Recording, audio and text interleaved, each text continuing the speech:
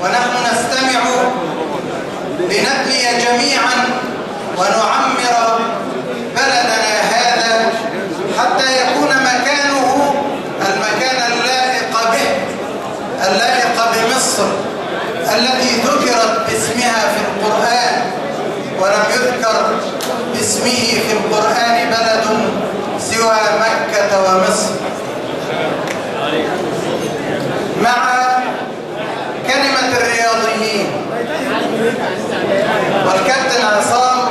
المنعم رئيس اتحاد الكرة سابقا ورئيس القسم الرياضي بجريدة الأهرام فليتفضل.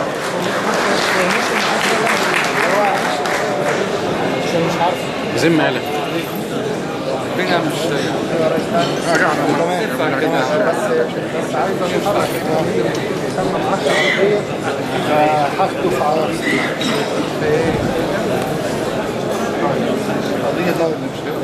تمام. بسم الله الرحمن الرحيم.